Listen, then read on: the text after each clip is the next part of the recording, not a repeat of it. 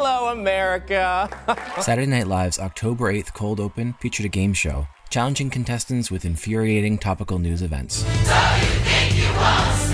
The host, played by Bowen Yang, first challenged a contestant, played by Heidi Gardner, with news from the war in Ukraine. A massive explosion damaged the Kerch Bridge on October 8th, which connects Crimea and mainland Russia. Ukraine has not publicly taken credit for the blast, but had promised to attack it. I saw that. Hopefully, it brings this war one step closer to an end. Well, on Thursday, Biden said we are closer to nuclear Armageddon than we've been in 60 years.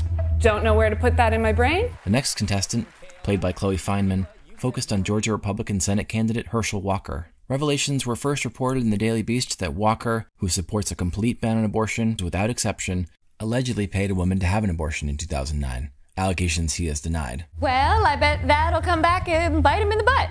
That actually led to his best fundraising day ever. The last contestant, played by new featured player Devon Walker, has to hear some news about Kanye West's recent appearances. Okay. All right, so you bring it up Kanye. All right. Can I get a new topic? Sure. Let's switch gears to Tucker Carlson. Mm. Last night, Tucker Carlson sat down with Kanye West. West appeared on Tucker Carlson's Fox News opinion show on October 7th in response to reaction after he was seen with right wing provocateur Candace Owens, both wearing White Lives Matter t shirts. I did I do certain things from a feeling. I like I just I just channel the energy. It just feels right.